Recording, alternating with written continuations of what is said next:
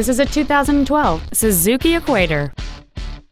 It features a 4.0-liter six-cylinder engine and an automatic transmission. Its top features include aluminum wheels, a spray-on bedliner, and hill descent control.